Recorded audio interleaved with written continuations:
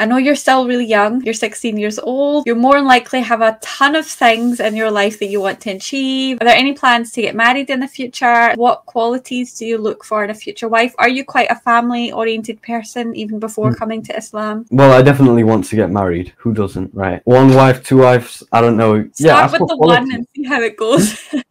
Yeah, yeah, yeah. As for qualities, obviously she has to be Muslim. I want a girl who's quite intelligent. Ideally, if she knows more than two languages, that'd be really nice. I want to have children who are like trilingual from birth. I think that'd be pretty cool. Yeah, Alhamdulillah. I hope you find someone. It's good to have an idea of what you want in the future.